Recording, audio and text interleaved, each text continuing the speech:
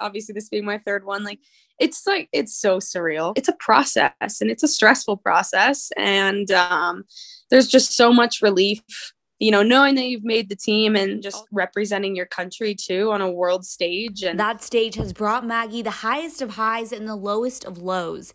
In the 2014 Sochi Games, Maggie injured her ankle during practice and wasn't able to compete. While in 2018 in Pyeongchang, she nearly missed the podium.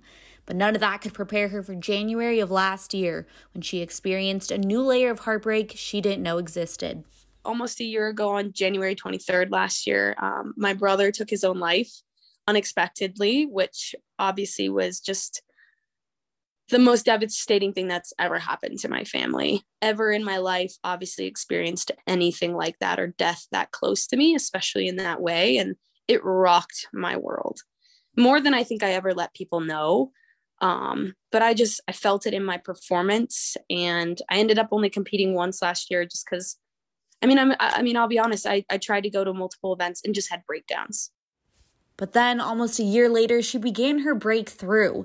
Once Maggie found out she qualified for the 2022 Olympics in Beijing, her head and her heart immediately went to Michael. Honestly, like immediately, I think about him every day. And um, when I ski, I wear, he was in the army, I wear his dog tag. Um, and I don't really wear it anytime unless I'm really like competing. How has this changed you as a person and an athlete? It's tough. I mean, I, I just feel like I look at life in a totally different lens. I wake up and I feel like I'm more present. You know, I want to be a better human. And I, you know, it's it's true. Life is so short and I feel like I have this one shot to just be be me and do the best and achieve my goals and be the best human that I possibly can. And it's really made this Olympic process like just I I mean I feel like so much more special. Suicide rates are at an all-time high. You and your family have been through so much. What do you want people to know from Michael's story? I just want to raise awareness and and let people know that you know it's not weak.